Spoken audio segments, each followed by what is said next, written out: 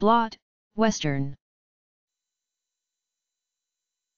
Blot, Western, a technique in molecular biology that is used to separate and identify proteins. It is called a Western blot merely because it is similar to a Southern blot, which was named after its inventor, the British biologist M.E. Southern. For example, the Western blot assay method is commonly used to diagnose Lyme disease.